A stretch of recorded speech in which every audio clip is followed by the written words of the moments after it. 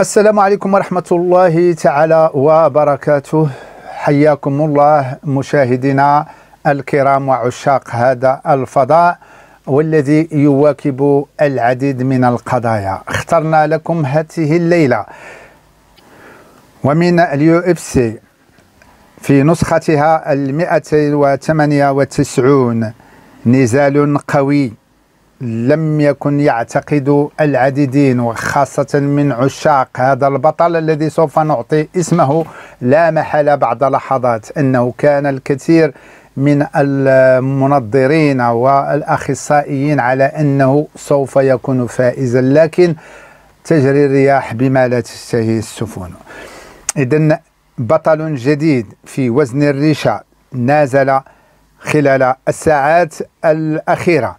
البطل العالمي فولكانوفسكي ألكسندر فولكانوفسكي يمنى بهزيمة ثانية أمام الإسباني الجديد والبطل الذي حقق آه، نزالات لم يهزم من خلالها سوف نعود إليكم بعد قليل في هذا اللقاء وهذا وهذه التغطية الحصرية.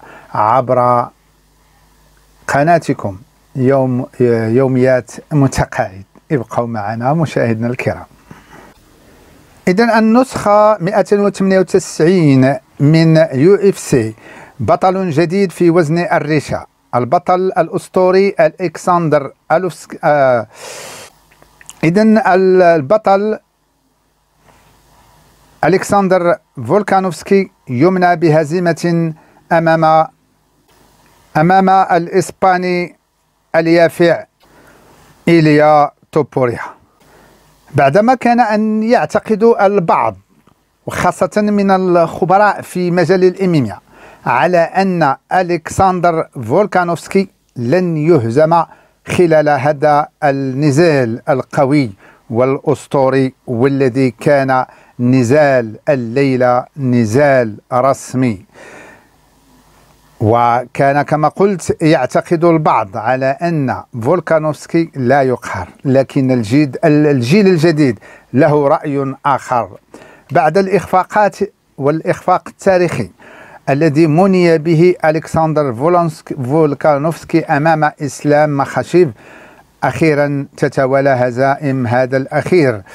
فولكانوفسكي وعلى يد الإسباني ذو 27 سنة بالقاضية يسارية خرافية أحالته في سبات عميق ولم يشفع له تجسيده للقطة التي أراد أن يبرهن لمحبيه ولعشاقه وعشاق اللعبة أن ألكسندر أروفسكي لن يهزم.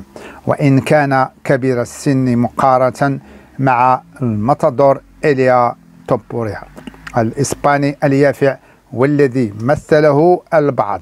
ببطل كونور ماغريغر في وزن الريشة.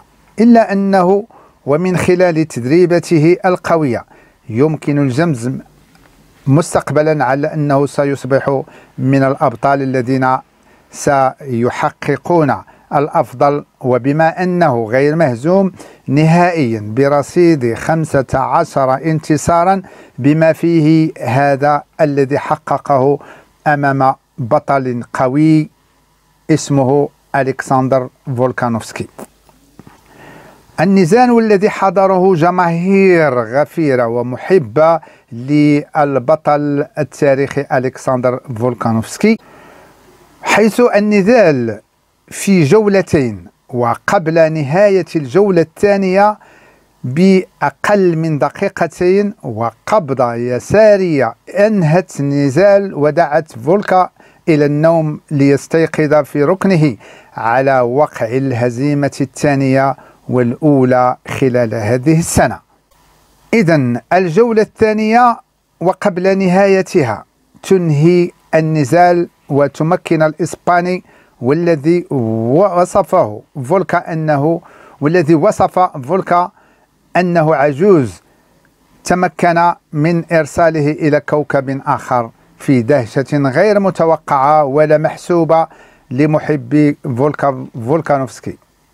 النزال وبعد سلسلة من التسديدات واللكمات القوية والسريعة والتي يمكن أن نقول على أنها فاقت سرعة الصوت وبخطافية يسارية في وجه فولكا على الجهة اليسرى غاب عن الحدث وعن الحلبة.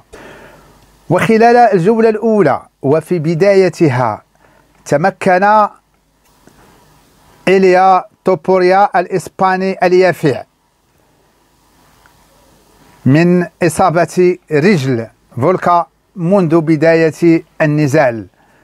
ومن هنا لاحظ البعض على أن اندفاع وقوة الإسباني لا محالة قد تعطي أكلها في بعض في إحدى اللحظات. وهذا ما كان قبل نهاية الجولة الثانية بحوالي دقائق معدودة. وبعد لكمات متكررة وقوية لم يتمكن ولم يقوى ألكسندر فولكانوفسكي على مواجهة والوقوف أمام توبوريا الإسباني وتمكن هذا الأخير من إسقاطه وتدخل الحكم. وهذه اللقطة تذكرنا بواقعة إسلام مخاشف الذي أنهى في آه، جولاته لقائه أمام آه، ألكسندر فولكانوفسكي. إذا نزال بطعم إيجابي للبطل الجديد في وزن الرشا ويحقق الفوز لدولة لدولته ولوطنه إسبانيا.